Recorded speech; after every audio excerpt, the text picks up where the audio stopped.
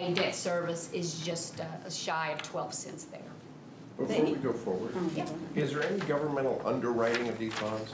Does the state kick in, protect them, or anything like that? No, you know, if you're, um, we have a triple A rating. It took us the whole life of the city to become triple A.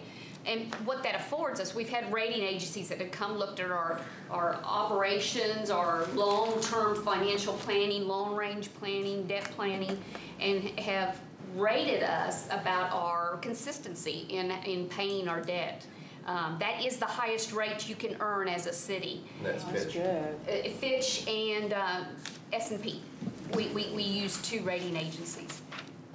And so what that does, um, back to your kind of your question, because we are AAA, we do not need any underwriter insurance. Used to, we did carry some insurance, not by the state, but a, another agency that for a fee, if we should be in default of making those payments, they would step in and make the payment for us to the bondholders. But we haven't used debt, um, insurance in many, many years. And there was a little bit during that economic downturn back in '09 that some of those insurance companies went belly up and did not, um, uh, did not not one pay. company that was available. Yeah. So if you wanted insurance now, it's very expensive, hard to find, but, um, and the cost would outweigh, um, sometimes how much you could, uh, uh, just going ahead and, and staying with an unrated, uh, position in your debt. But, but with AAA, that, uh, it, we're very happy with that. And that in turn keeps our borrowing cost extremely low. Because if you're an investor and you're over here, okay, I could buy this double A bonds, there's a little more risk associated with that, so I better get a little more interest on my investment there. Or here's the city of Lewisville, triple A, very safe and everything. We can actually say in the marketplace, no, we're not gonna pay you that interest rate, it's gonna be a little lower because we're less risky than that mm-hmm. entity over there. And so it affords us a lower cost, which in turn keeps the cost of some of, you know, our projects and our capital down, so. I have a question. How often do these, do these change? Once a year, we have the opportunity to change these rates. Every year, we, um, when you are mailed your uh, property tax uh, statement that says, you know, for the coming year, your last year's value was this, next year, your value's this. There's a time period where that's being assessed, you can appeal those type of items. Then later in the fall, that, you get that in January, or that's, that value is set January first. Then later in the fall, we get that information on what that value is to the city. We take a look at that times our current rates and our needs at the time, and we determine, can we keep our rates the same? Can, do we need to raise them, or can we lower them? It's totally a council decision at that point on where they can put that rate at.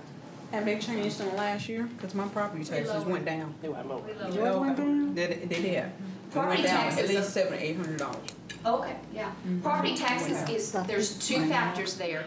We could have kept the rate the same and your property tax could still go down. So there's the rate can either go up or down, or your valuation. That your house value could have gone up or down. So those factors determine whether your actual tax bill is lower this year or higher this year compared to the prior year. Oh, okay. Okay. Mine's Is there a state mandated ceiling as to how much? Yeah, it's like two dollars and fifty cents, I believe, on a city, so you can see we're way below that, and I don't know of any city that's hitting that. Um, No. yeah, and state law will not let us go over two dollars and fifty cents total rate. Okay. This year, the council kept the debt rate flat and the O and M rate actually decreased. That was a, a recommendation by staff to keep that debt rate flat because as Brenda will tell you as she goes through the presentation, that debt rate is going to determine the amount of debt we're able to sell over the next, um, ten years.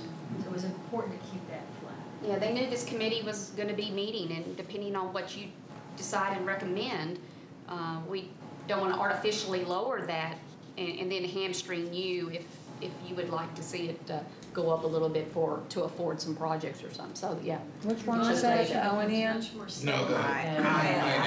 IS, IS. Sales kept That- low? That, yeah, that eleven seven three two was kept the same. Is it a law that there's a certain limit that the city of Lewisville can go as far as bond? Is it a law like you She's can? gonna get into that. Okay. Yeah. Yeah. There's We- no law, she's gonna tell you, she's gonna talk about capacity. Okay. So in comparison, like I said, that we compete with other cities around um, the area. We've taken a a few cities, we have uh, uh, some survey cities we'll take a look at and compare ourselves to from time to time on various things. And here you can see our tax rate comparison. Lewisville is second um, to the lowest when you look at our total tax rate. The INS rate is in red and the M and O, O and M rate uh, for operations and maintenance there is in black. And that's not new. We've been second to the lowest Yes. for a number of years. Yeah. Wow, look at Grapevine. Ju- but- Yeah, it just for, It's called hotel motel tax. is that what it is? Okay. I was say, why is that? Yeah. Hotel motel tax does that? Sales tax, a lot higher percentage. Was that the Gaylord? Yeah, sometimes the makeup of the town can tell you a lot about, you know, maybe they have revenues in other areas that help support them and they can keep it lower. Other ones may not, may be uh, really dependent on their property tax and it's a little higher.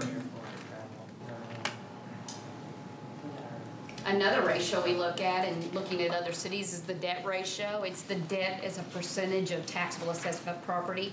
You're just looking at your total property, uh, taxable property in your city, and you're, you're comparing your debt amount to that. And as you can see, we're about one point five seven percent right there. In other areas, where, you know, this is very, uh, very common, except for Garland, we're all within that one to, to a little over two percent there. Grapevine didn't make this. Uh, Grapevine should be on there. Well, I don't see it. Good question. Yeah, it should be there, but Now you can tell their INS rate is the biggest portion of their overall tax rate from the chart above. Yeah. so that- So Yeah. I would assume they would be a little bit higher up on that chart. We can add them back. yeah, should be on there. And these are 2013, 2014 figures. 2013 figures these are over here. Fourteen. No, th- this The is, tax rate. this is from our comparison- last audit, The right? tax rate comparison was fourteen fifteen. The debt rate Tax is. rate is yes. fourteen fifteen, Two different two thousand sources. fourteen, Yeah. two thousand We just got our fifteen. tax bill like two weeks ago, maybe. And the debt ratios are Yeah. two thousand thirteen? Yes. Schools are Yes, uh, you know, that's, that's an education piece, you know, when you do look at your tax bill, we are the entity with 44 cents as a tax rate, and your school districts will be uh, around the $2 figure or something, so it's a a difference. So some components of bond size, when we look at bonds, you know, we also, we're looking at the timing of the projects, where the needs are, you know, when, when are they needed, when are they? Um, You know, a component of, uh bonds are the size, you know, how big of an issue do you wanna do? How many, how many bonds do you wanna issue a year? Um, There's a, you know, a rate of debt service that we have a debt policy on. We pay off our debt within sixteen years.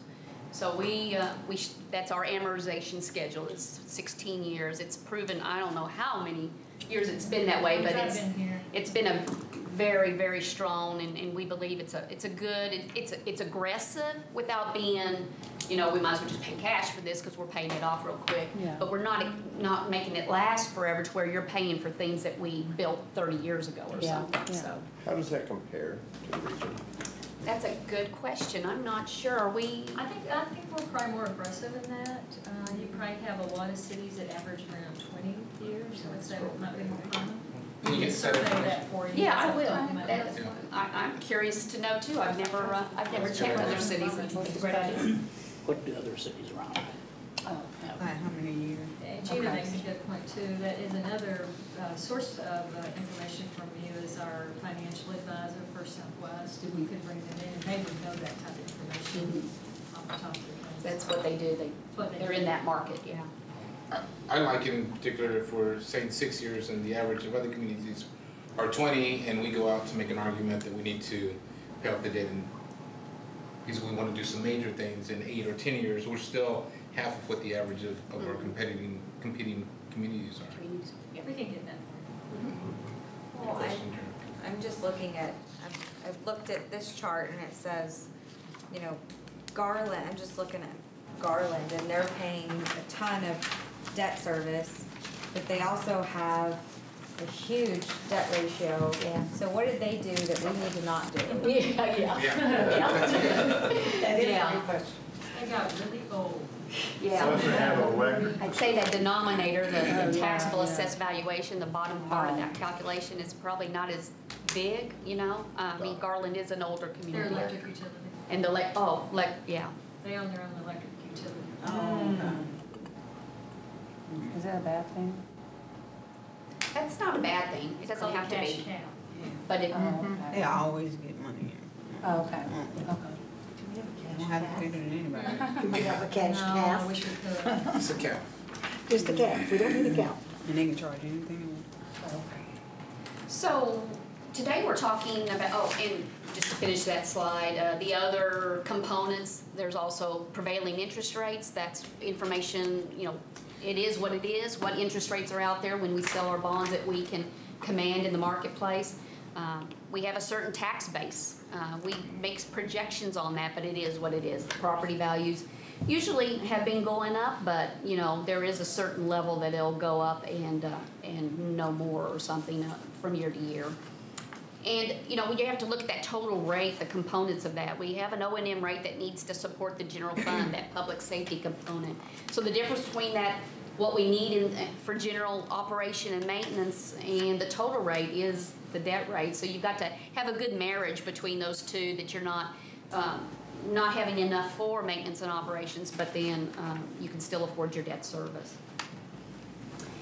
So the authorization here that we'll be um, asking the citizens for are for general obligation bonds, and they do require voting, voter authority. Certificates of obligation, obligation do not. We've done some certificate of obligations, but usually, as a general practice, we usually go out to the voters and get their opinion and have them vote on our bond packages. The only time we've used certificates of obligation is when we have a very a dedicated source. So when we've had uh, the four B sales tax, and we'll talk about that uh, in a little while, uh, we sell certificates of obligation against that four B sales tax. We also used uh, certificates of obligation for your art center, and that's against your TIF revenue. I think Gina's gonna talk about that. Um, While we may ask the voters for that upper limit, how much, how much bonds can we sell over a, um, a, a period of time? You know, the other thing is the, um, when to sell will always be a decision of council. So they vote on those issuances every year, or if we're be, or if we're selling every year, but whenever there's time for a sale, they will vote on that. The general, the attorney general's preference though is once you have a, a, the voters have spoken and they have approved a certain authorization that you have to spend or you have to issue that authorization within ten years. Uh, It's just kind of a general preference that they like to see that being spent. So the time frame we're presenting to you tonight is a ten-year window that we want you to look at. We really pushed it during our last sale. What uh, our bond counsel told us was, you just need to keep talking about it because our program, uh, in the end, was a fourteen-year program. uh, Because we had other sources that came, became available to fund those streets. So we were able to stretch out those bond dollars for more projects. Uh, But we did that, every time we went to a council retreat, we talked about the fact we still had that authorization. So that was an important factor. uh, voter approval, you know, of that bond package, along with council's decision to, um, to decide on the timing, creates that flexibility with a capital, uh, capital project, uh, program. Uh, when something happens or, uh, we get new funding, like she said, some priority, priorities can be shifted and some things can change and everything, and that's, that's always a good flexibility to have with the two groups working together. Um, and it can be used, ge- general obligation bonds can be used for any public purpose, um, street, drainage, public safety, and parks. We alluded earlier to that land banking, and what that is really more of an economic development type of focus, and that's what the Attorney General and, and Farmers Branch, um, discovered, I guess Farmers Branch discovered, is that that's not really deemed by the Attorney General as a public purpose. Um, So Flipping it. Yes, it's more of a private purpose. You want to take some land, you either want to make some money off on it, or you want to keep it long enough for something good to go in there. And it may be all a good idea, but it's not something that's really, should be used for GO bonds. So we're gonna talk here in a minute about where land banking money can come from, but it wouldn't probably be from the GO bond program. Man, you're using soft language. the mm-hmm. Attorney General's preference, mm-hmm. maybe we shouldn't. Yeah. Is it mandated It, or is it suggested? there is no law, but what he does, he, he sends out letters of his opinion. Opinion. But you know, it is a voting type of office, so the next attorney general may have a different opinion. So you just pretty much have to go with the current opinion, and um, that's kind of how we, on, on, on these issues, we kind of just direct ourselves to. So they weren't never penalized or fined for what they did? They did? just were told they couldn't do it again. Oh, just, oh, okay. Uh, If, if you look at the Attorney General's office uh, in relation to the, the, the time or the, the lack of the authorization, um, I would tell you that, uh, that's, that's something that's, that is pretty hard rule. It's- You can't go, it it gets back to, people voted with the expectation of a project to occur. And if you wait twenty years from now, it's just not logical that you truly have that support of the public. So if you think about it logically, uh, there's, there's a, a good basis for that uh, type of review. That, does that make sense? Yes. But when they did it, did they wait that long time or Oh, did they I was immediately? actually talking about two different issues. I think he Oh, was okay. getting to the time, The timing yeah, of the it. timing. Mm-hmm. Oh, okay. He suggests ten years. Yeah. Oh, okay.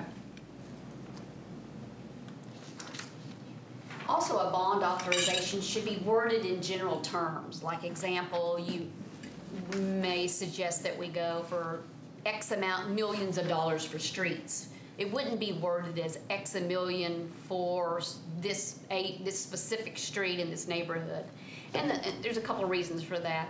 One is that there's, you know, other sources of revenue over those, these, these ten years, uh, that we're talking about that could become available to, to use. And so you're gonna want to, if the county's gonna give us money and help us partner with a building of a road, you definitely wanna take the county's money and use that, not go and, and issue debt just because you have told voters that you are gonna spend that money for, on that road. Um, Another reason is if, if you have it specific, like, we want three, you know, three million dollars was voted on for ABC Road here. And it only took two point nine million to build, you've now wasted hundred thousand dollars of voting authority that can't be used anywhere else, cause you made the specific promise That's that right. three million would be ma- would be spent for that road. Talked about that a little uh, last week, that, that gets to the heart of not only what your bond ballot uh, looks like, but also all your marketing material. So when you uh, develop your marketing material, you'll see us say things like, uh, suggested streets could include, and you'll have a list. You're not locked into a specific list of streets. You are locked into a dollar amount. And our supporting material, um, like she, besides that, it, it must be factual only. We can't have supporting material that says, vote yes, or we, we think you should do this. Mm. It will just be factual only. But it could say, that it was a road, you could communicate whatever safety concerns that it's, it's not, it's factual because of increasing These this. means- statistics. These statistics say this. Yeah, So educational. Yes. it can so be educational. It could seem like it's pro, but it's really just factual, Yeah. which could lend to itself to the argument that we're trying to make. The, the, the city staff can't, but a separate group can. So we're gonna be showing you a couple models, a- a couple of numbers to throw at you. Uh, uh, As we talked about, our financial advisors for Southwest, they um, issue millions of dollars every year in this bond market and for various cities, not just us. They, they work in this industry and are very knowledgeable of what bond issues are going, what the rates, interest rates are, what conditions are supporting a good bond sale as opposed to when to sell and when not. And so they help us with those decisions and they've helped us build these models. There's some assumptions that they use. There's the tax base growth. We all don't have uh, a, a for sure crystal ball that tells us exactly what where the tax base is, but we look at our prior history and we look at what we expect the future to hold, and, and we try to be conservative though to make sure that um, maybe we maybe we've had a history of a 3% growth, but to assume that it'll always be 3% growth is unrealistic. A city has a life like anything else. There's the, there's the period where it's just growth, growth, growth, you know, land, a lot of uh, unused land. Then there's a period where there's a maintenance standpoint, there's not as much land available. And then you, you know, a, a a city matures and, uh, and that growth is a little bit different at that point. Um, There's also interest rates to make that assumption, and again, we used First Southwest on this. They're in the marketplace, they know what interest rates, and they know about our AAA rating, and in historically, what we've been able to bring to the table as far as an interest rate out in the marketplace. They also know our current policies, um, you know, and we want to maintain those. We want a 16-year debt service because that's what our current policy states, those type of items. So given some things we know for sure, we have some debt, outstanding debt right now. And that has to be, continued to be paid over until it is paid off. So they factor that into it as well. I don't think you had this later, you can talk, you might talk a little bit about our, our current existing debt and also educate them on Castle Hills debt. Yeah, the current, our current um, debt that we have that, uh, that is gonna be similar to what the, the citizens will be voting on is, is called general obligation debt. It's also called direct obligation. It means the city's full faith and credit is behind those bonds. We will do whatever it takes to, for those bondholders to be paid. And that's roughly right now, it's uh, currently outstanding about ninety million. Of that 90 million, 20 million is being paid by other sources. We have um, some bonds that was converted to GO bonds and are refunding from, and our water sewer uh, revenues are paying for that. And then also some 4B money is going towards some of those bond payments. So net, we've got about 65 to 70 million outstanding right now that are, that's currently being uh, serviced. Uh, Now, we have other bonds that are associated with our name called, from the Castle Hills development.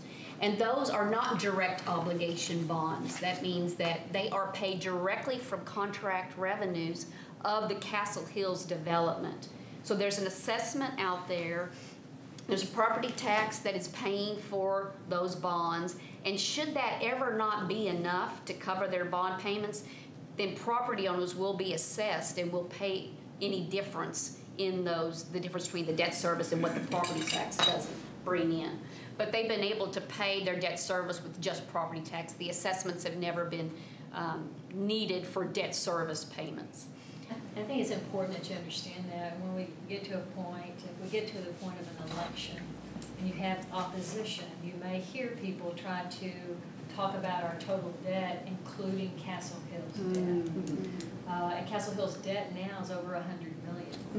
It's close to 200 million. This is Castle Hills, this area. Now, back in nineteen ninety-six, it was brought into the city's ETJ.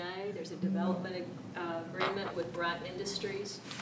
Uh, As this area developed, it split into water districts. I'm just gonna give you a really high-level explanation.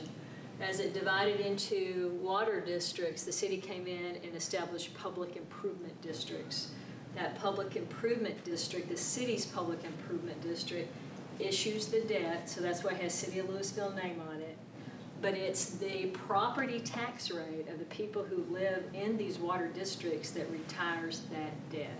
It is not an obligation of the City of Lewisville. Just in that area? Just It- the- it- that green area. In this green area, area, okay.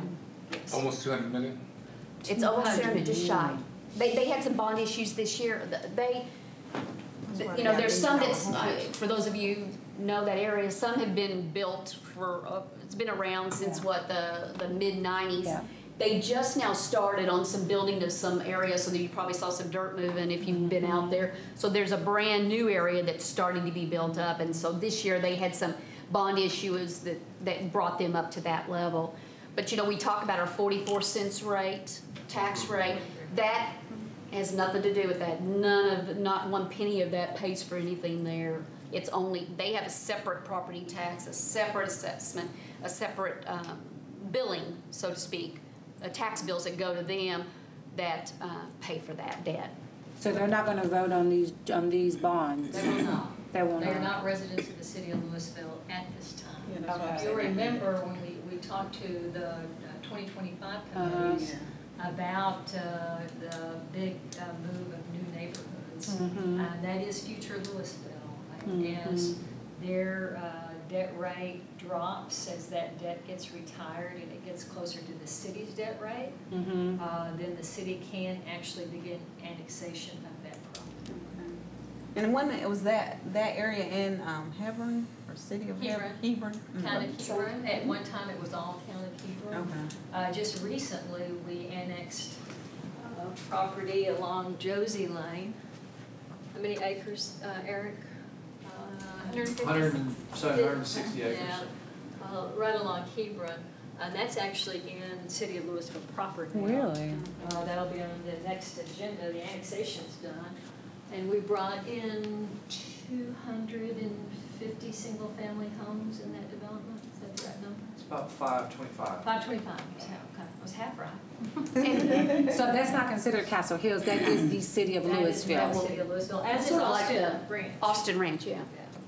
So now, um, their property values, are they included with the city of Lewisville property values? Cause I, I know someone asked me that, they were wondering how, how was our property values that high? They must have been including the Castle Hills in. No, So they're not, included. none of those, okay, okay. Not in any of our figures. Now, whoever you were talking to may have included it, but not in our figures. Okay.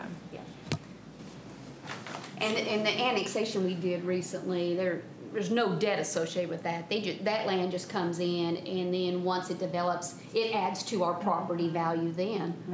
Um, so. What's the If I price remember right of the correctly, that it can be annexed in, in sections, or no, it's all or nothing? I'm sorry. It's sound. Sections. Okay. Castle Hills, can it be annexed in It sections? can be, uh, it's, you know, districts, so it Okay. can be, the debt's issued by districts, and so it can be annexed in by district. As So, they yeah, clear up as- their debt. As Okay. one B, that debt was sold back in ninety-eight, the first debt was sold uh, in ninety-eight, and as that debt has, has gone down, they become closer and closer to a, a potential annexation, where G and H, that's all brand new. Wow. Now, And Brenda, their tax rates, that moves some of the confusion. Mhm. Confusion is a lot of those people have a Lewisville address Mhm. or, or zip code, but their tax rates range from less than a dollar, uh, ninety-eight cents, eighty-eight cents. Eighty-eight cents to a dollar. Almost, almost double what the Lewisville What we rate do. is. Now, Lewisville provides fire and police protection They to do that contract area? with us for fire and police, they do pay us for that additional service. Uh, we actually also provide wholesale water north of five forty-four. North of 544. I have a question, the sixty-five to seventy million debt, ob- I mean, direct obligation that we have, do we have, how many years left do we have to pay on that? It varies depending on the issue. Uh, our oldest, I think, is two thousand five, so it's looking at paying off, it's a sixteen. Okay. So it'll be paid off in twenty twenty-one. Okay. Um, Because remember, your, your debt is issu- issued in tranches. Mhm. So when we went to the voters back in two thousand and three for a general obligation program, sixty-four million dollars, sixty-four, sixty-eight? 68. Sixty-eight million It's like dollars worth of coming debt, uh, was approved. But that was issued uh, around five to seven million a year. Okay. Uh, and so every year, five to seven million gets issued, and then it- that sixteen-year clock starts. Okay, so it would never be, if we went to the voters, say like this year or beginning of, I mean, well, twenty fifteen, or beginning twenty sixteen and, or in May, will it be incremental or will, Yes. uh, even though we'll be asking for a lump, uh, We'll seventy Still million? be issuing it over time, Over time. over a ten-year program. Okay. Yeah, they'll vote on the lump sum, but, yeah, the issue of Okay, so if I could get, just make sure I understand this. Sure. The figures we've been presented tonight include no Castle Hills properties None. Correct. whatsoever. No. So we are looking at that half of the map. Yes, yes. Plus, well, Plus, plus Austin the other Ranch. parts, yeah. Plus Austin Is Ranch. right? Okay, so that's where the And property now- values versus debt, And now that- those And now figures. Josey- Now Josey Lane. Okay, Although the figures we've got here doesn't have that. sure, because it's uh, not. Because it just Because it just happened. Okay, It'll be in your 2015 figures, because that's when the value shows up on our Tax rate. tax roll, yeah. And the But that- name, I'm sorry, Leslie. Now, the, the Josey part there, that is unoccupied at the moment, mostly. It's, it's bare land, It's barely. it's bare land right now. Is that the same over there where one twenty-one is? Um, I saw there's some homes going up for the three hundred thousand. Is that Coppell or is that us? That's actually us, if I, if I'm, I'm correct about, so what I think you're talking about, that would be the two Murdad projects, Wendell, what's in? Could be, Yeah, it's up there just west, just west of Castle Hills. I'll go to the Up in aerial Old test Town. Oh, uh-uh, no, it's No, over there, she's one talking about twenty-one. By us, by by Vista Coppell. Ridge. Oh. Yeah, I think it's out there. Yeah, over there by Vista the, over there behind the Walmart that's on thirty forty, right there. It's As you're going across into from Vista Coppell. Oh, so It's just right across- across yeah. from Vista Ridge. Yeah. Probably this big piece here, that's Coppell. Okay. Oh, that's Coppell, that's Yeah. not us? Everything on that side's Coppell except Yeah, they're, one that's, section. that, I'm guessing, but if But there's, see, if right, there's a big my development house is going in like here. right across that line. If you're heading north Right on one twenty-one, like you're coming out of Coppell, it's gonna be on your left-hand side, it hums from the three hundreds, but it's past the Lewisville You're sign. Yeah. You are talking about It's right- Denton Tap and. Yeah, cause there's that Wally World Right over before there. Round Grove, right before Round mm-hmm. Grove. You're talking about Denton Tap and that crosses Vista Ridge. Isn't that Flower Mound? No, that's not Flower Mound. Because it's this side of one twenty-one. Y'all know where the Walmart is on one twenty-one and thirty forty? Yes. It's right, it's like you're heading towards, down into Coppell. Come down Denton Tap. But see, that's Lewisville because it's way past the sign, it's way You're north. Yeah, there, there is a housing development in think she's Lewisville, talking about under this construction now. Yeah, they've moved the dirt, they just have the sign up there, It's by that homes from the Market three Street. hundred. Those are townhomes. Are those the townhomes? Yeah. Oh, I thought they were single. that's talking Those are townhomes. So that's Lewisville, that's not That's- Coppell. That's Lewisville. Oh, okay. What I thought you were Because talking we're right, I'm right across from you. There's development coming in here. It's further mm-hmm. Which would north. be Capel. Coppell. There's something coming in here in Coppell. There's development in Lewisville, south of, of the Walmart. We have there. several townhome developments. I could have sworn those were houses, they said they're houses. It, they, I know what you're talking about, it's 'cause Market Street's up here, Walmart's up here, and it's in between the two. Yeah, Market Street's down here, Yeah, there's there's, Walmart, it's uh, right over here. Townhomes, Those are townhomes? but they're nice and big, they're like, they look like those Mercedes homes. They haven't even started building anything over there, they just got the sign up, there's nothing built over there yet. That's not. Yeah. There's one going up right now. It's just dirt, they just have the brick wall up and it's, Yeah, it's it's got the brick wall- wall and and it has a sign. sign, there's no homes being built over there yet. It says homes from the three hundred thousand, so I don't know if that was Uh, Lewisville They're or called contract Coppell. revenue bonds. Contract. So- revenue. Now, let me point out two, two new uh, significant residential developments up here. We're gonna go up north If they default, do we? to one twenty-one and, and, and, and business one twenty-one. Because Uh, here's five forty-four. they've usually got. regular one twenty-one. Uh, there's, there's a large townhouse development, uh, attached and detached going on on either side of Cookie Lane and either side of the tracks. Up in this area, this is city of Lewisville, it's called Wind, Wind Haven Junction. Right. And total lot count is five, six hundred on either side, and they're, they split the size of the track. They're townhouses because it's kind of a buffer between the main lanes of one twenty-one. You have a storage facility that's in Castle Hills to the east. Uh, you have what was the, what, what was townhouse, detached townhouse in Castle Hills. So this is called Windhaven Junction. And this is another uh, Centurion development, and um, they're going through the platting stages now, so they'll be pushing dirt probably within a year. Do we have an estimate how, um, if, how much the base will increase in the next five to ten years? Um, yes, in fact, that, that was the support behind some of these, uh, models I'm getting ready to show you. Okay. Um, what we did, um, it, I'll, I'll get back to that and I'll, Okay, I'll give that's you a figure on that.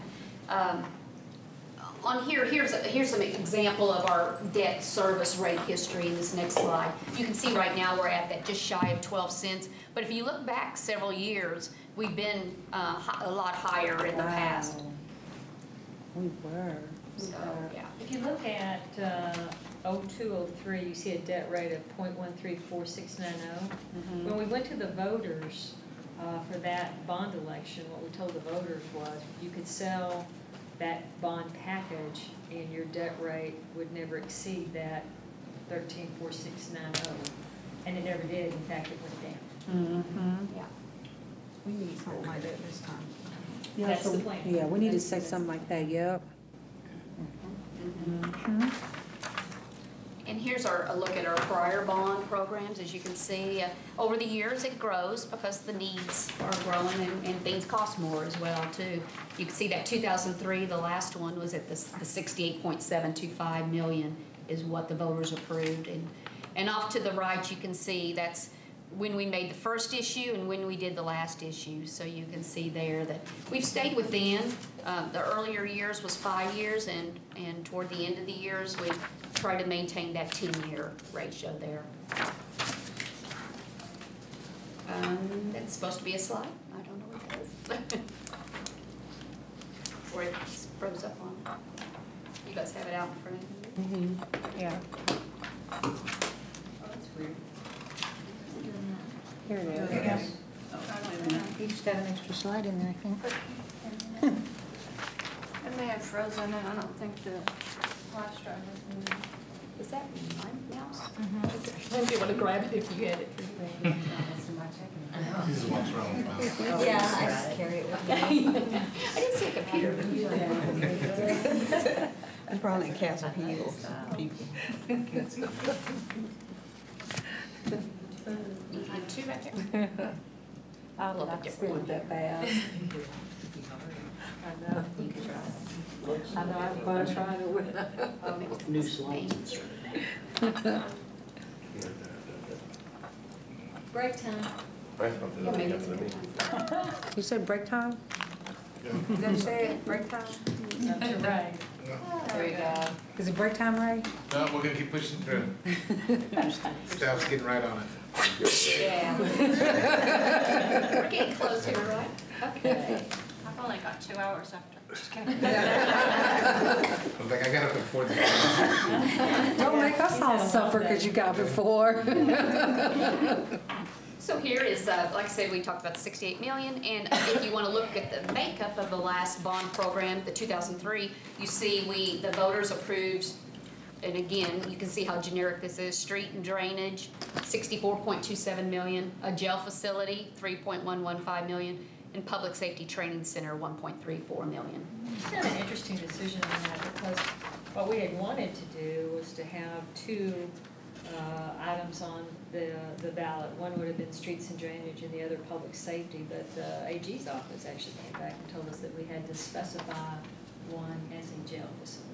Oh, really? Hmm. Sometimes we get opinions, that's why we're a little soft on our, Right. because sometimes we get something that, well, uh, okay, this time Wow. around, yeah. Okay. So, so let- let's talk about some of the assumptions we've put before you. Um, Along with our financial advisor, we have got some pro form, or some uh, packages for you to look at, two scenarios for bond issuances. We assume a two percent tax base growth, um, and I can give you an exact dollar figure on that if you want, but, but based on our tax base we have now, we are assuming a two percent growth over the next ten years, your ten-year window, and then flat thereafter. So, so when they, we decide on the, the type, or how much debt we can issue, we want to make sure that we can service that debt in that scenario with a two percent growth for ten years. But if our debt rate stays flat for the next for forever and ever, then we want to make sure whatever debt we've issued within those 10 years can be paid off. The previous 10-year growth here at the city of Lewisville is at 3.27%. So we think the 2% is very conservative. And based on, we also look at what's going on around the city and available land and also get information about, just as Eric talked about, some of the growth that's on the ground or going to be uh, growing, and we take that into consideration. We want to make, in this scenario one, we're maintaining our current tax rate, if that's, if that's your recommendation, at that a little uh, shy of 12 cents. And we've worked with our financial advisor, the present interest rate right now, and again, we, we, we estimate on the conservative side is four and a quarter. And in ten years, that five percent, we uh, may bump up against that, so. And again, those a little higher than what we are experiencing right now, but again, trying to be conservative. The ten-year program would start in the spring of twenty sixteen, and we'd issue through twenty twenty-five. So looking at that type of assumptions, you can see on the next slide, those are those incremental uh, tranches, as Donna mentioned, that we would, we could issue in.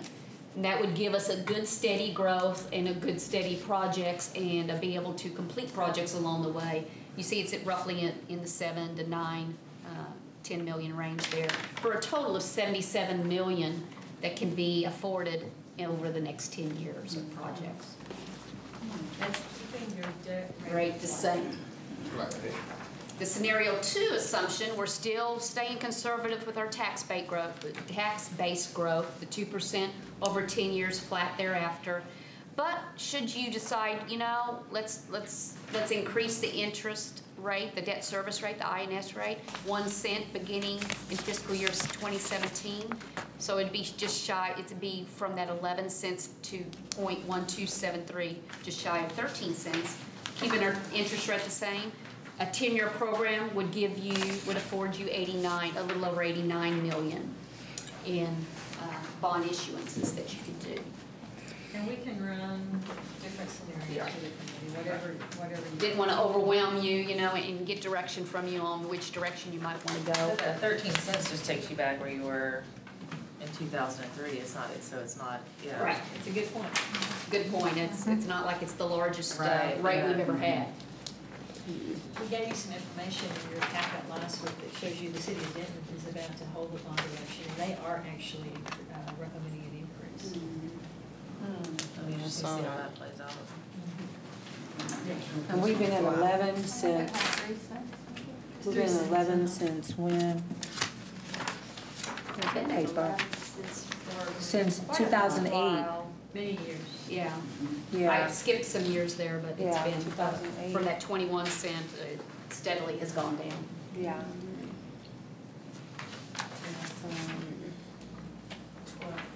Twelve cents. And that's the bond, your bond options there on those two scenarios, kind of the range of uh, total potential projects you could fund using general bonds. So I think we, or, do I continue on with this? Or do you have any questions, yeah? At this point? You said that's the range, so that's, On these two scenarios, that's where you're looking either at seventy-seven million or just a little over eighty-nine million, should you decide there. And, and like I said, there's, if you want us to run other scenarios, we can do that. But that gives you some idea of the ballpark of where you're at as far as being able to fund, uh, projects, uh, for that value. This is two percent, um, increase in the tax base over ten years includes those new areas too? No, No. does not. Okay. But it does not include Castle Hills, Okay. and it doesn't include anything that's not on the tax roll today. Okay. Oh, okay. So that's existing properties projected to increase. What if we got back Increase to of the- 2% per year. To the tax rate that was in two thousand two, two thousand three? I'm sorry? What if we got back to the tax rate that was back in two thousand two? We could run that for you. If we did, uh, that looks like that would add another, what, half a cent or a little three quarters of a cent? And so that would definitely increase the eighty-nine point one nine to some amount. I, I'd have to run the It numbers keeps us for pretty low in that tax rate comparison with Yeah. other cities, I mean, that still keeps us very, uh, How much do competitive. we need anyways? How much do we need? That's if we wanna It it. depends on what we're gonna do. Okay, yeah, that's what I What was was the total? Let's just go to the max. What was the total? No, I'm kidding. I think it Gucci style. Um, what you want, what you want. Yeah. How good a sales girl are you? One, one thing I wanted to, to share with you, so back in two thousand and What was it before? The last, uh, bond committee was appointed, the last Blue Ribbon committee. And you'll see that they were appointed in two thousand and one, and that sale actually occurred in two thousand and three. The reason for that, uh, time differential was because the council, uh, looked at the overall projects along with the Blue Ribbon Committee and said, let's look at another source of revenue. And we stopped and we went back and uh, we actually had a four B sales tax election. That election did pass in two thousand and two. And all of the, all of the projects that were related to parks and library were taken off that GO bond program and funded through four B sales tax. Uh, and so, um, one thing for you to keep in mind is, one thing that was told the voters at the time that the four B sales tax was done, uh, was that this is a dedicated source for parks projects. So there's gonna be a decision point about how many parks projects might you wanna include, uh, in a, uh, GO bond election.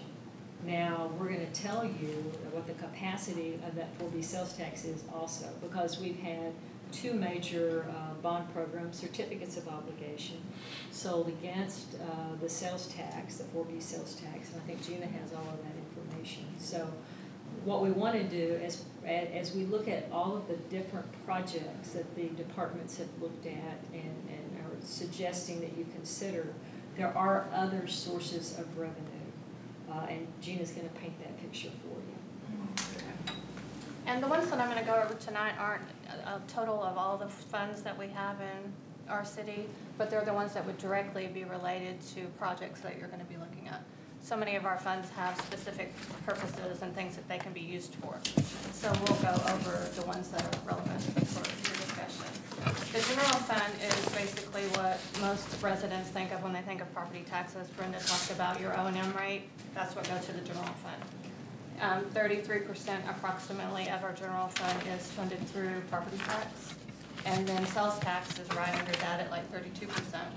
And then we have the rest as other, which include fines and forfeitures and um, franchise taxes and parks and rec and, you know, just a multitude of others. So as a city, we try to have a diverse revenue stream in our general fund that kind of keeps that balance out of a third, a third, and a third so that we don't become overly reliant on any one form of revenue. So we're gonna be talking about the general fund here.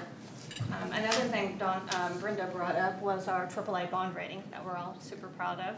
Um, but one of the things that our AAA bond raters look at is our fund balance. How much money do we have in all of our funds? Um, this year, our council actually approved raising that reserve requirement of what we keep in our fund balance from fifteen percent to twenty percent. And that just goes along with the practice that we've had. We've actually had a practice of keeping a much higher fund balance than that even. But they wanted to make it um, more of a policy so that our bond raters and the people that review our, our debt can see that we're very consistent and we're serious about keeping that a high balance. So right now, our projected fund balance at the end of the current fiscal year that we're in, which would be at the end of September, is twelve point two million dollars. Our recommendation is that you look at this for land purchases. And I think Brenda got into that a little bit, kind of because land purchases really can't be purchased with a lot of other sources. So mm-hmm. this is one that really doesn't have as many ties to it. You can use it for a lot more purposes.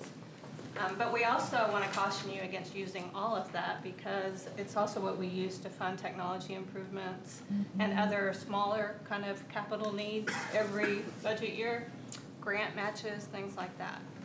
So just so you know, that's an, an option for you, um, and it's at twelve point two million dollars. For example, this last fiscal year, the property that's along Corporate and Valley Parkway, uh, which is some of the prettiest property that I think is left in the community vacant, we did purchase that uh, with our general fund uh, undesignated reserve. I think that was a million seven fifty, so that's a, you know, you can go through that pretty quick. So we're, we're always a little bit protective of that fund balance, but that is in your discussion. And Gina, you might talk about the animal shelter that was actually funded through. I, I don't recall exactly how much that was. Four point two million?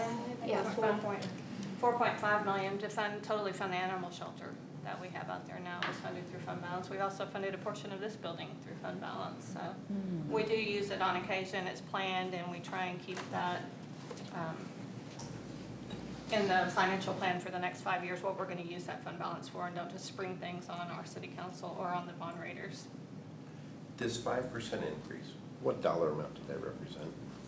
The um, fifteen percent is right at about fourteen million, well, twenty percent is at fourteen million, so it, it, again, it didn't materially affect anything, because we already had a fund balance of thirty million dollars, you know, you have the requirement of fourteen million and then another twelve million. Okay. So it's really just semantics of what we're saying, okay, well, now we're not gonna use that. We looked at all the other cities that are AAA bond rated, and you saw many of them had that twenty percent. So we decided to make it a formal policy, even though we had historically maintained higher. And I will just point out that, you know, our annual budget in the general fund is about seventy million dollars that comes into the general fund and goes out of the general fund. And so, um, when you're looking at twelve million, you know, that's not as dramatic of, or large of a number as you would think in comparison of a seventy million dollar annual operating budget, so just keep that in mind on the general fund. And that's all I had on the general fund cash, is that pretty good? Um, the four B fund was what we're gonna talk about next, which is what Donna was just talking about. The election in two thousand and two, um, allowed for a quarter cent sales tax. And so right now, when you go to purchase something at a retail establishment here in Lewisville, you'll pay eight point two five percent. This chart shows you the breakdown of how that works. One percent of it goes to the general fund, which makes up that twenty-four million dollars of the seventy million that we have to spend in the general fund. Then we have a crime control and fire services that each get an eighth of a cent. The city of Lewisville four B fund, which is what we're talking about, gets a quarter cent. Your DCTA gets a half cent, and then the state of Texas gets the whopping six point two five percent of that. So in accordance with that election, we can only use four B sales tax dollars on parks and library projects. So that's law, we can't mess with that, we have to prove that's what we're doing, and we keep it separate, in a separate fund, and we don't use it for other purposes. The Does that time out?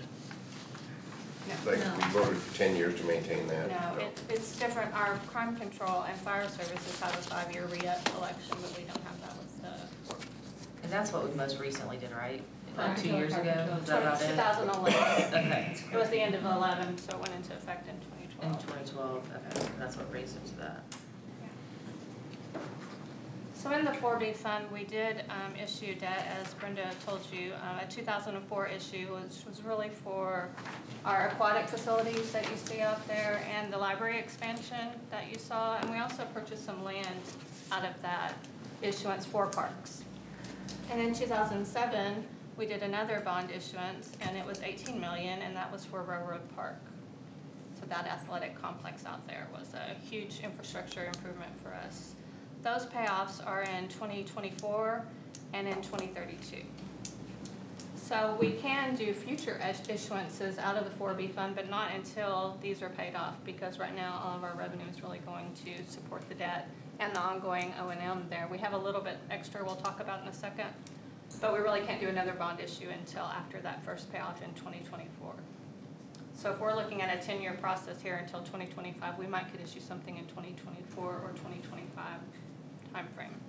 Council rule on that has been if we use uh, 4B debt to build the facility, then we actually operate it also with 4B revenue.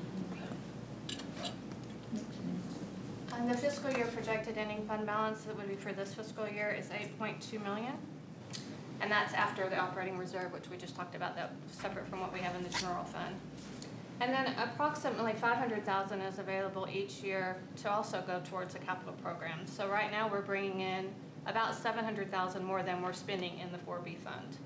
Five hundred of that we feel comfortable you could use for a capital type program, and that would leave another two hundred thousand for smaller items or any kind of buffer against a downturn in the economy, because it is sales tax funded, that's volatile. So we want to keep some kind of a cushion there. But so you would have about five hundred thousand annually to go towards a capital improvement program. So this chart shows the um, 2016 through 2025 plan. If you wanted to fund cash, you have your 8.25 in excess reserve right now. You also have the half a million annually, which brings you to a total of 12.75 million over the next 10 years in cash. If you also wanted to go in and, as soon as the debt is paid off in 2024 for our first bond issuance and issue more, you could issue up to 25.93 million in 2024. So that would bring your total up to 38.68 million that you have between a cash and credit type approach to funding parks and library improvements. Say that last sentence again.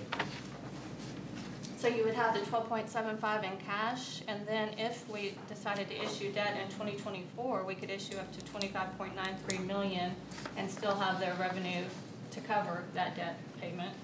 And so you have a total of thirty-eight point sixty-eight million to spend on parks and library improvements over the next ten years. If you wanted to do a, a combination only of parks cash and credit, Only parks. Only parks. only parks and library. It's kind of interesting too, because when we were taking this issue to the voters, the state law changed.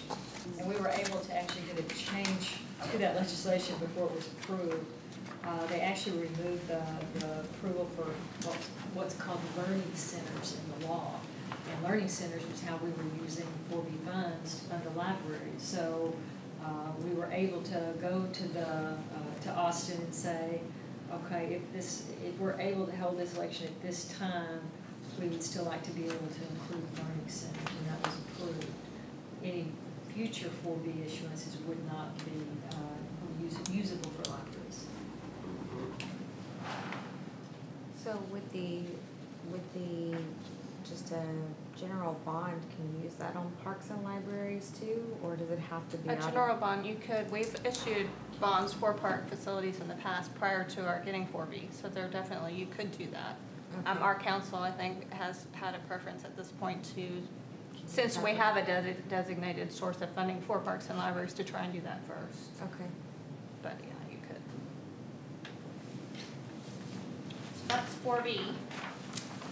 Um, the next source of revenue we'll talk about is our TIF fund, which is the Old Town Tax Increment Reinvestment Zone or Tax Increment Financing Zone, so you see it as a TIRZ or a TIF sometimes. This was a special taxing district created in two thousand one, and it captures the increased property value that we get from buildings that were existing in a district in two thousand one, and sets it aside, and it can only be used for that district. So the Old Town District, and I think Steve was gonna point that out to y'all if y'all aren't familiar with the boundaries of it. Eric, do you mind? Is it right here? Yeah. Kind Right of there. Basically from thirty-five Main, uh, To back the to rail- Railroad to the Street. railroad. So it's this area. Purnell to the east, or to the south, and then College to the, to the north.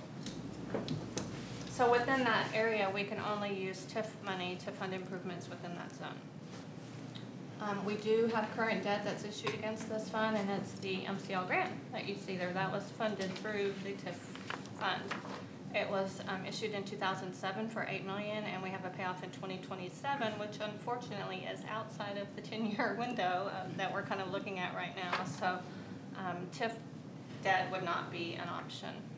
Um, also, right now, we're basically bringing in about six hundred, a little over six hundred thousand annually, and debt is at five hundred and seventy thousand. So almost everything we bring in, we're, is being used to pay for that debt. And the debt does increase annually, so we really don't have any room to fund any operating out of there or anything until the debt's paid for. The plaza, did it come out of this funding? No. No, Yeah, the only thing it's paying for is the Grand, the theater, right? Right. Yeah, That's forever. So things Yes. in And this district can be funded through other sources? Yes. Okay. In fact, the plaza is a good example of that. You know, that's funded through the general fund, it's through some grants, it has a little bit of four B in it. I think it has some escrow money. We've kind of compiled everything we can to, to work on the plaza, but that's definitely a, a lot of other sources that went into play there. So stormwater, this is an interesting one. that We've been talking about things that we already actually collect and have funds for here in the city. Uh, stormwater drainage fee is not currently collected in the city of Lewisville. So what we've done is larger drainage projects have been funded through our GO bond sales in the past. Smaller ones are funded through the general fund, kind of annually. Um, However, a stormwater utility could offer us another revenue source to fund drainage activities. And those can include um, improving drainage in flood-prone areas, improving the existing storm sewers drainage system, constructing any new drainage systems, public education, and then O and M of any kind of stormwater improvements that we have going on. Um, state law does allow the establishment of a stormwater utility, and we've discussed this several times over the years with our city council, and we've had public input all along the way. The first time I think we remember, recently at least, was in nineteen ninety-two, talking about it, and then we talked about it again in twenty eleven, we talked about it at the twenty twelve retreat with council. In 2012, we actually hired a consultant to work with us on establishing a stormwater drainage fee so that we could take it back to the council and say, here's kind of what it would look like, how it would affect people, what it would, um, and we'll go over that a little bit more. And council actually said, you know what, we like it. Let's work on it. bring it back to us, and let's see if we can go implement it. What we decided to do between then and, and now, though, is wait and talk about it as part of the Blue Ribbon, because we felt like it was kind of a source that could be used for some of the drainage and street-type drainage issues. And we wanted to make that kind of a comprehensive look, so that we had it all in one, and had it, some um, education to you and kind of your thoughts on the stormwater fee. So we've decided to put it back into this process as part of the Blue Ribbon. But it is ready to roll. It is ready to roll. And what we have is um, 16, out of our 16 survey cities, only us and Carrollton do not have it. At least 55 cities in the state have a stormwater utility and charge a fee for the service. It would operate a lot like our water and sewer fund in that it would be a separate fund, and we would be required to analyze the cost of providing these services and develop a fee to cover that cost. So it's a lot like a water sewer rate structure. Can you tell me what that is, stormwater drainage? Is that the little, It's the runoff that's created through impervious surface. If you put in a pavement road, water is now diverted instead of sinking into the ground. So we're looking at trying to decide a way to use that impervious surface to actually create a fee that if you have a lot of impervious surface, you would pay a higher fee than somebody who just has a vacant land who wouldn't pay any fee. oh, okay. So it's really based on the type of um, runoff that you have. In fact, our fee recommendation was a four dollar fee for residents would be a flat fee, four dollars for every resident, um, monthly. That'll be added on to your trash pickup stuff or It would be, you would see it on your water bill. on the water bill? Okay. So a flat fee, no matter how much surface you cover or not, is that what you're saying? On residential. On residential, okay, gotcha. On commercial, it would actually be that same four dollars, but we would apply it per twenty-eight hundred square feet of impervious surface. Okay. So if you have a huge complex like a mall, Mm-hmm. that mall would pay a large, a much higher rate than Okay. somebody who has a smaller. That's where it's variable rate, okay. And there would be some variable if, if the cover was, let's say it was cobblestone with stone, uh, with, uh, Like permeable pavers. yeah. Yeah, if it's permeable, then it's not considered impervious. So there are some um, gray areas when you talk talking gravel and, you know, we kind of Where get it's into. still a hard surface, but Right. it's not like it's just raw land. Right. And what you'll find is cities, a lot of cities don't get into this. We felt that this was the more fair way to do it, equitable. But some cities just go off of, of water meter sizes. And they have flat rates regardless if it's a, a million square foot building or a fifty thousand square foot building, if their meters are the same, they just charge it per meter size. So a lot of cities didn't go to the trouble to map out those pervious and impervious areas and battle out compacted gravel or compacted dirt and treat it the same as asphalt or concrete. So uh, you'll see a, I'm not gonna say a wide range, there's really two ways to do it. This is the more equitable way we feel, but a lot of the cities just go off of meter size, they have rates per their water meter size. Is Flower Mound collecting this fee? Yes. Is Highland Village collecting this fee? Was it ten dollars Is over the there? s- school district paying this fee to them? The school district does pay this fee. Yes. The Yes. school district does pay this To them, but not to us, To they don't them, have one. But not to Oh, us, to, that's my point. okay. To the other community. Uh, Yeah, For Louis- re- yeah, Lewisville Independent School District pays it where it's applicable. as far as. So, Okay, wait a minute, say They that have a again. lot of Yes. impervious. The school district pays this fee. Because they have a lot of parking lots. Oh, they pay it Okay, in the but cities that charge the fee. So Okay. in the Lewisville School District, you know, that's located in mm-hmm. Flower Mound. They're Right. paying that portion for So Flower. their citizens don't pay that fee then? It comes from the school Flower district's Mound budget. does. It comes- Okay. But You're we're paying paying into the school district Into in the this school. I was gonna say, are we double Differentiate paying? out. I know, cause we would be paying into the school district and paying a fee. Well, no, wait, listen, in some way, we're paying into the school district, which is then in turn giving our tax dollars to Flower Mound, our tax dollars to Highland Village, our tax dollars to Plano, our tax dollars to Frisco. Well, I'm saying, once this, like, that she said, this is rolling. So once this takes effect, will we pay, be paying into the school district and a fee? Yeah, but you're paying in the school district now. I know, but that's, but like I said, and a fee. So we'll be paying twice. As the budget So said. that's like No. comparing it to our property But- tax. Yeah. The backside of that is, there's a lot of impervious service in Lewisville, the Lewisville proper, that's school district property. Yes, Just think the bowling center alone. It's a Yes. lot of parking lot. I'm sure it is.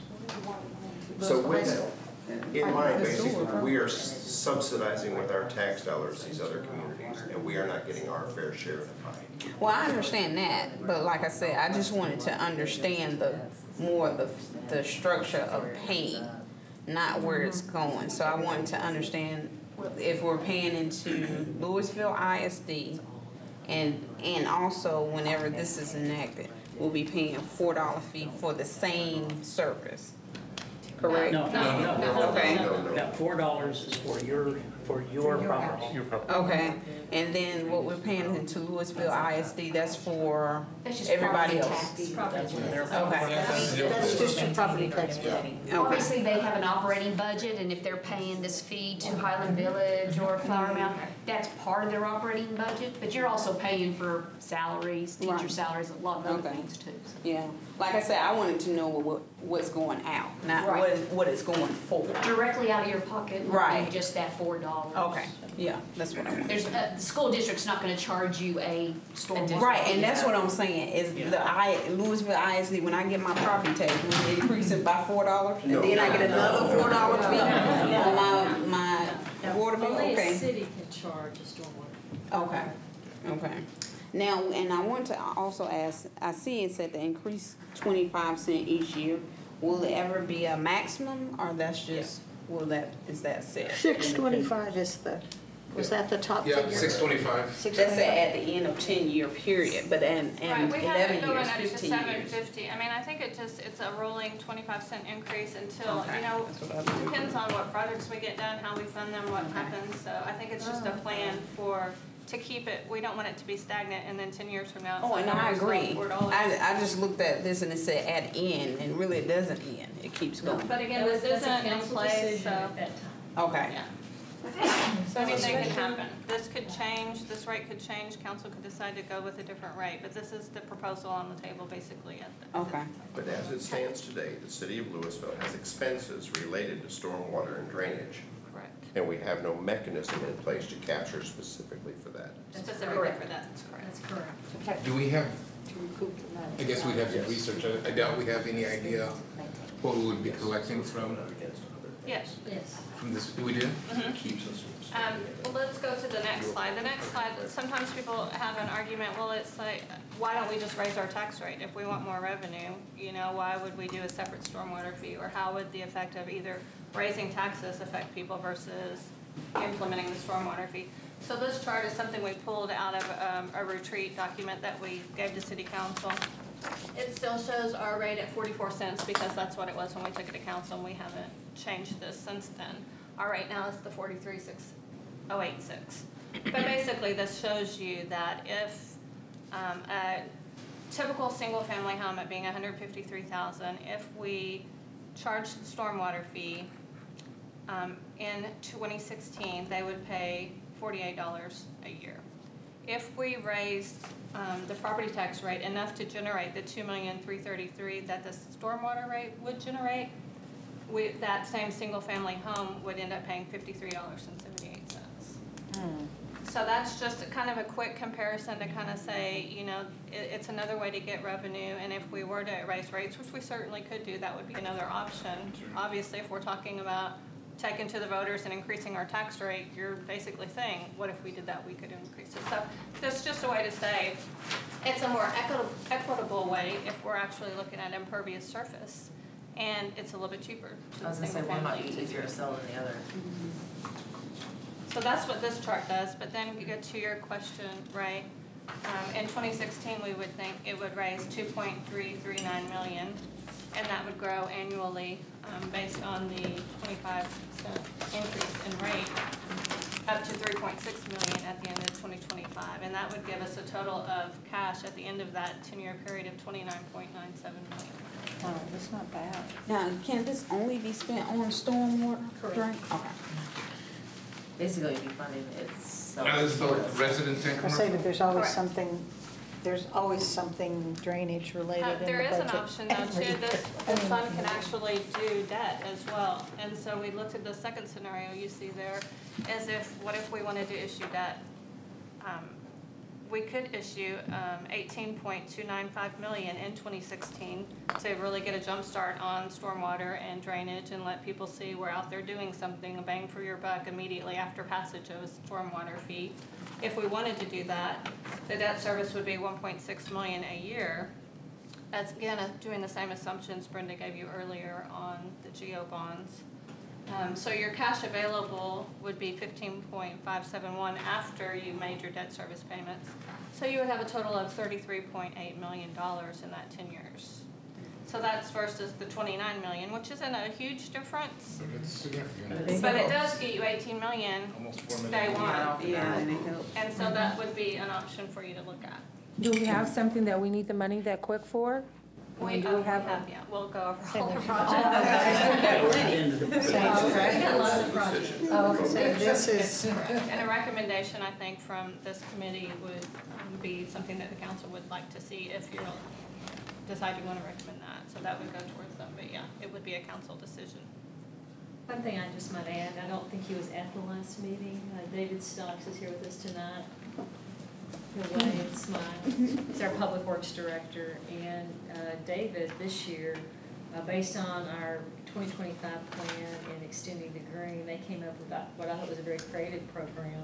And it's something that the stormwater fee can be spent on. David, you want to talk a little bit, very quickly about creek cleanup? Yeah, we've added a, a small crew, and we're gonna target areas along the creek where we think would make good access for pedestrians and along trails. We're gonna go in and clean those up. Mm. Clean out some of the underbrush, pick up all the litter, and just make it accessible. Because there's parts of the creek that are really scenic, but they're kind of mm. covered by a wall of vegetation. Yeah. And you really risk your life if you go in there to see that. So we're gonna open up those areas in the coming mm. years. Wow. That's an example of the type of projects that can be uh, paid for through your stormwater. And that's As well as your traditional drainage projects, and David's got, the other David um. And you can't say David S. either, just, they're both David S's, so. So that's kind of uh, the stormwater fee in a nutshell. Um, A couple other funds that we made, because we're talking police and fire um, facilities, you may think, well, didn't we just do a, a sales tax for those? Which in fact we did in November of 2011. Each one is an eighth of 1% on the sales tax. They cannot be used to issue debt, so that's not an option.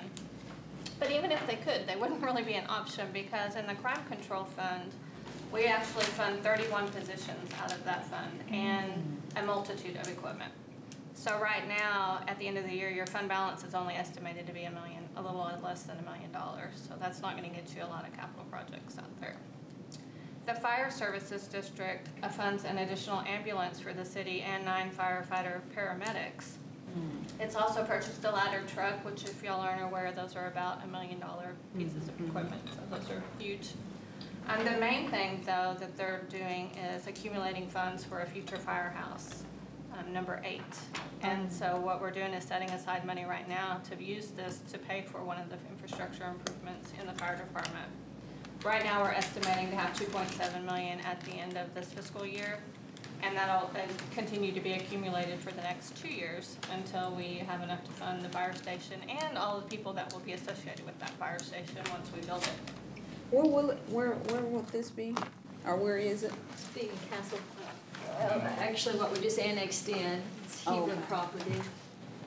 Uh, Okay. right up in here. It was gonna be up here. Uh, we actually had land that was given to us, um, uh, in in the Austin Ranch area. Uh, but the fire chief felt like if we were able to move it closer over here off of Josey, it would be, uh, in a better service area response time for this new, this new challenge of serving East Lewisville. Mm.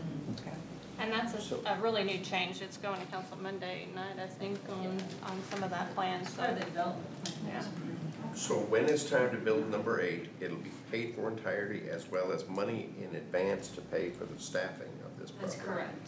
Wow. All through the. The rate- eighth of us? the- Okay, All Yeah. through your sales tax. All right. Now, that doesn't meet all the needs of the fire department. Yeah. Um, Say that Uh, again. That that does not meet That's all the just needs that of the one. fire uh, department. What the fire chief will talk to you about is the fact that station, uh, Central Station, which is located off of Valley Parkway, is an older facility. Yeah, Uh, and he's gonna be looking at trying to, uh, build a new uh, central fire station. Oh, that'd be nice. Also, uh, because of the shifts in population, um, he would like to move Station Three, so it would be a rebuild of Station Three. Where's Station Three? Um, Station Three, Steve, you wanna point to? It's corporate and one twenty-one business. Oh, where Yeah. Budget Suites and Seven Ins- Oh, yeah. Budget, Dollars oh, and that is- It's all messing up. Yeah, over, there it is. yeah, we need to put a police station Where am I over there. at? And he'd wanna move it, so again, when you look at where you put a fire station, it's all based on response times. That's right, And yeah. as your population grows and, and moves and changes, sometimes you have to relocate those stations. The one on Valley would just be a, Be central, it would, he would just, he wants to rebuild there, it would be at It the would- same location. Oh, So if you move one, what do you do with the old one? That's always an interesting question, Amanda, and all the other departments start vying for, uh. Expansion. Yeah. Well, the one at corporate over there where that one's moved, that would be a great annex police department, right over there, budget suites and in-town suites. That's where I need to put one right That's a Very there. good idea. And I, I do want to put these funds in perspective, because each of these funds for the fire services and the crime control annually brings in about two and a half million dollars. Just the police department general fund budget is twenty million dollars. The fire services is sixteen million. So this is like a little bit of icing on the cake, but it, it's not the cake, you Yeah. know, so. So we're doing what we can to fund additional services for police and fire out of these, but it by no means is the bulk of A little the more like operation. glaze on the cake, not necessarily icing. Yeah. So that was really just to show you that those really aren't an option for you when we start to talk about police and fire. Not to, not to further complicate, but we actually did sign an agreement with, uh, the water districts, uh, for what's called the strategic partnership agreement. And that agreement actually allows the city to collect sales tax in Castle Hills. We do collect the city's one percent sales tax, and we also collect the four B sales tax, that quarter cent. Uh, the Attorney General's office, excuse me, the Comptroller's office came back and told us we could not collect the crime control and fire control, and we have not been able to grasp that. And we're looking at potentially some legislative changes this session to allow us to do that. Okay, so those are those funds. I think we're getting towards the end here, I promise. Um, hotel motel tax. Tourism funding comes from hotel motel occupancy tax. Six percent is um, paid to the state and seven percent to the city. State law defines a tourist as an individual who travels from the individual's residence to a different municipality, county, state, or country for pleasure, recreation, education, or culture. And I give you that definition because state law is very specific about what we can use hotel motel tax for. Hmm. We can spend the money to promote tourism and the convention and hotel industry. Basically, it has to fall into one of the categories you see on this PowerPoint slide. Um, Convention centers or visitor centers, convention registration services, advertising of tourism and conventions, support of the arts, which is a maximum of fifteen percent. And right now, this fiscal year is the first time the council has funded fifteen percent max for the arts. And they, they did that specifically to start setting aside funding for arts acquisitions with what we had left over after we funded all of our arts groups, so. So And- could a new lake development project slash convention center all of a sudden to open that up for use? Like if you were to, the new development that could possibly happen out of the lake, and if you were to make that the convention center, is that Yeah, where you if could it was pull a that visitor- hotel a motel tax to be able to use it, cause you've tacked that onto it? Can, you know, that's always a, an issue you have to be very cautious of, because remember who's paying that hotel motel tax? Other hoteliers. Now you're gonna use a conven, build a convention center that's gonna compete with, uh, the existing convention center. Right. But yes, to answer your question, yes, you can use it for convention center purposes, as well as your CVB staff, if you were to build offices for your CVB staff. Okay. but we couldn't use it to go out and solicit another hotel to come in and build it. That would have to come from, Could, if your hotelier's money. Yeah. Question you, but you. Mm-hmm. I, I know of another city that asked the Attorney General, they, they told us we couldn't do To, that. to go out and solicit a hotel? Not with those funds, because they're only for tourists, and so it's not directly affecting tourists, because tourists don't care whether you're going out soliciting. So you couldn't go to like, um, to a convention to go solicit another hotel, company using hotel tax funds, you would have to use, you could use economic development dollars. You're Those- correct. You can use it for sales purposes, to Correct. bring conventions to your city, but not another hotel. I would agree. On the support of the arts, is that only physical things, or can it be used for fun performances? It could be used for performances, if they're still gonna draw in the crowd from We fund the arts groups, mm-hmm. theater, ballet, that's all. We- I think we spent hundred and seventy-eight thousand for performances. Okay. Does that cover physical public art? It It could. can. It can. Yes. So if you were to wish to add public art, uh, some cities have a public art policy, and they say one percent of a project is spent on public art. So you build an animal shelter, and one percent of the cost. With the four and a half million, one percent of that Would could go be. to build, add public art to that particular project. Didn't we do that? We With that done- sculpture, okay, did that not happen? That did not happen. That did not happen. You're talking about Slicker He's Shine? gonna- Slicker he's Shine's gonna about to leave. leave. He's on loan, isn't Mhm. He's gonna be leaving. He's gonna be When? leaving. Did somebody buy them? They're just pulling. Oh, did someone buy it? I don't know the answer to that. He's writing off. That's, He's gonna say, well, Writing, he's writing on it the He's sunset. off into so the council did not support that way of you, oh, They didn't- interesting. They really didn't Okay. have a way to do it. Yeah, they did. There's, some- there's, there's various issues there. They could have, uh, and there's some questions on whether you could use hotel motel fund balance for that. But that was a potential, all of the general funds of it could be, but with public art, and that's gonna be a, that's a council decision. I mean, you have to always be careful with that, because even funding with the arts and sculptures, because if the hotelers made an argument to the Texas Hotel, um, Lodging Association, Scott Joslove, Joslove's their president, and, and they said, how is this contributing to bringing tourists into the community, this art piece? And they could come back to the city and say, you have to demonstrate to me how Sweeter Sky's bringing Oh, I can tell you right now, every time I step out my back door, cars are pulled over and stopped and they've got their Taking kids pictures, yeah. dragging their family out in front of it, taking pictures. But It's day, on day every trippers are not the, restaurant s- but day that trippers you are not walk the same into that as. has land Well, that's debatable. That's marks, debatable. you know, Yeah, one throughout. of our next slides, this, just to mention historical preservation too, is also an area that hotel motel tax can be used on.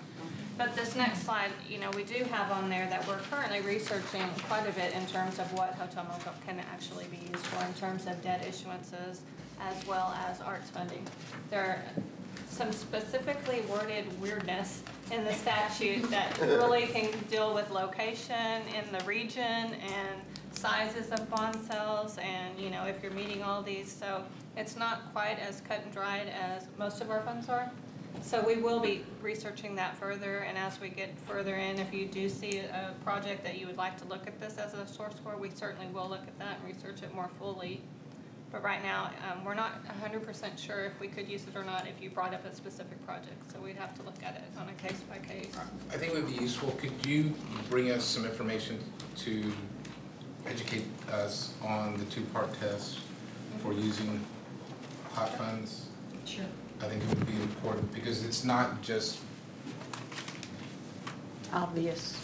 meeting one threshold, there's two thresholds that we have to meet that the legislators put in place. So even, for instance, if you're doing it for historical preservation, you still wanna bring in heads and beds. You can't just go out and do something that's not gonna have anything to do with tourism, is what he's talking about. You kinda have to try and meet both aspects of the law, but we can bring that back to you. Um, the, the thing about hotel motel tax is that it generates two million dollars approximately a year. We're anticipating our fund balance to be at four point two million at the end of this fiscal year. And then we also have a $2 million repayment coming from the Hilton Garden Inn in December of 2016 that you can also factor into any type of analysis on cash in this fund because um, we're pretty confident they're going to do that. They had another payment that they did make recently, and so they're on schedule to do that. And everything looks like that's going to happen, so. So we think somewhere December sixteenth, maybe six point two million Correct. in there? Awesome. Um, So, the funding sources recap here, that kind of talks about everything Brenda and I both talked about. Your GO bonds with scenarios, um, leaving the debt as is, or the one cent increase. So this kind of just, will be your go-to sheet if you're kind of going back and forth about what we can use and what we can't. General fund cash could be used again for land primarily is what we would recommend. Your four B funding, if you look at cash and credit, would be about thirty-eight million. You really don't have anything in the Old Town Tax Increment Fund. Um, the stormwater fee could be between twenty-nine and thirty-three million. Crime Control and Fire Services really don't have anything available. And then your hotel motel cash, again, could be around six million dollars in December of twenty sixteen. And the very last slide I have, I promise, is, um, we wanted to talk to you a little bit just about our annual investment in our infrastructure. I think Kristen had had a couple of questions before about what do we do, um, how do we know the condition of all of our infrastructure, and we do have the pavement condition index that I think David will go over with you at some point. But we also have an annual investment that we fund out of the general fund. And, um, this is our fourteen fifteen investment, and it's just under four million dollars. And that's annually, so you can see where every year we're looking at the streets that are in the major conditions that we need to address. We have concrete street rehabs, asphalt, sidewalk maintenance, screening walls, neighborhood rehab, alley rehab, traffic system improvements. And this year, we specifically set aside funding for a railroad street repair from Hebron to DFW landfill. And so these are things that we'll annually invest. Um, right now, we have about ninety-five million dollars in our capital improvement program for streets, drainage, um, parks projects, and that's what we're working right now. Every day, you know, our staff is out there working on projects, so just so that you know, in addition to what you're looking at, we have an annual investment in our infrastructure, and we have capital projects, forty million of which are related to corporate drive. That in and of itself is a huge project that we're working on, so we just wanted you to be aware of the annual impact that we have on our infrastructure as well. So the sidewalk maintenance that you have maintenance on, or ADA, that you're bringing everything up to code, where, what fund is that coming from right now? How are you funding that? That's This this is- number I see right here? And that goes into our capital improvement fund where we may have some money from a prior year that we're adding to it to, you know, get a full project done. So you might have, like, at any one time, we might have more money than this in our capital improvement program. But this is our annual investment of what we're putting over there to help address all of those issues. For example, one thing you don't see here is the uh, enhancement, enhancements we made to trails, existing trails for ADA compliance. A lot of that's money for Courtney. Okay. Is that because it's ADA and that's where you pull it from there? Okay. For parks and trails, you know, Parks and ADA, trails. everything else would have to come somewhere other than four B, because that's only. for- Right. When we get to looking at roads, are, will we have a, I guess a breakdown of cost to do concrete or asphalt? Yeah. Um, because concrete is, lasts longer, but it's noisier and asphalt needs more maintenance, but it's quieter. Um, David will talk to you specifically about that. You said quieter? Information We have on that. Asphalt is than concrete. To drive better. on. I've just never- We'll have options for you on concrete and street as well as some green initiatives. You know, we want to talk a little bit on all of our projects about how green do we want to go. You know, that's always an option too. So you're going to see for any one project, you could have various options for that. So next week, uh, you're gonna have, uh, the two Davids here, and they're gonna be talking about, uh, the thoroughfare plan, uh, the existing thoroughfare plan, and where we are as far as existing streets, uh, and the, the implementation of the thoroughfare plan in general. David Stocks is gonna talk about the assessment rating system that we've used on our streets. Uh, once you have that basis of information, uh, then we'll start going into specific, uh, uh, recommendations related to streets. And we'll probably spend a couple of weeks on that, two, three weeks on that. Uh, Then we'll shift gears to trails, and then we'll shift gears to facilities. You will not, education. I have an apology to the committee, I am gonna be out of town for the next two meetings. Um, And so, my staff though will be here in in full to support you. And uh, again, as we go through this process, any questions you have, um, you know, call any, any of us in the room. I think we have all of our phone numbers, and we're glad to respond to to any of your questions you have. And Ray, I believe that's what we're going to Excellent. Well, before we close, I'll just say I'm glad you're taking some time off. It's, uh, It's been a a fun last few months. Um, And with that, I'll entertain a motion to adjourn. I'll make a motion to adjourn. Second? Second. All those in favor say aye. Aye. All those opposed, like sign. We're adjourned. Thank you. Donna, Dinner. when, when, I'll, I'll be out of town next Yeah. Thursday, so when are these viewable? That's why I and my staff was had a big business expo involved. And we had probably, uh, about a thousand people show. Really? Oh, okay. Okay. Every, every week, every time I went, somewhere, every week or something. So